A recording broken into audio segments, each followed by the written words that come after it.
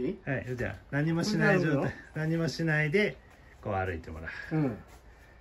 とうん。はいそんな感じとで一回戻りましょうね。あれが素晴らしいな。うん。じゃあ一回ちょっと元に戻ってもらって。大先生は気持ち知ってるですよ。あそうなんですか、うん。あ何？森家さん。ああそうかそうか。あれやられてたんですか？佐藤さんは。うん合気道やられてた、うん。あそうなんですか？うんじゃあ今度万歳してね。そうちょっと肘を上げるようなつもりでこうゆっくり。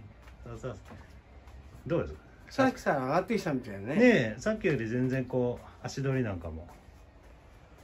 うん。なんかは早早くなりましたよね、うん。さっきよりね動きがね。うんうん。それわかる。わ、かります、うん。バック？あバックしてじゃあ。あの後ろ下がってもらって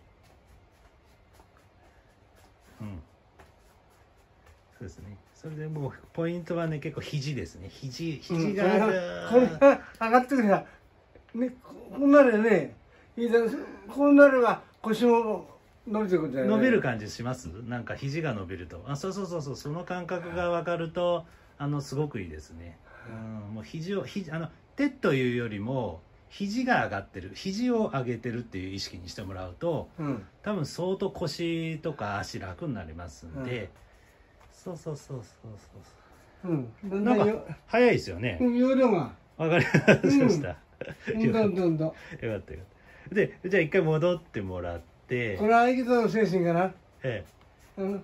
一つ勉強になった。えうん、そうです。合気道の原理も応用してますんでね。それで一回じゃあもう下げて歩いてみてください。もう一回。下げて。何もしないで何もしないで動いてください、どうですか？うんこっちは大変でしょ今 こっちにしたけか日い。いね。うん。だから違ううん、これから毎日こうなるべくちょっと移動するときにこういうねまあ手挙げて何か作業するわけにいかないけど、うん。たまにこういうふうにち上ょっと。そうですね、うん、そうですね。目線も上げるのも重要ですうね、ん。はい。ぜひやってみてください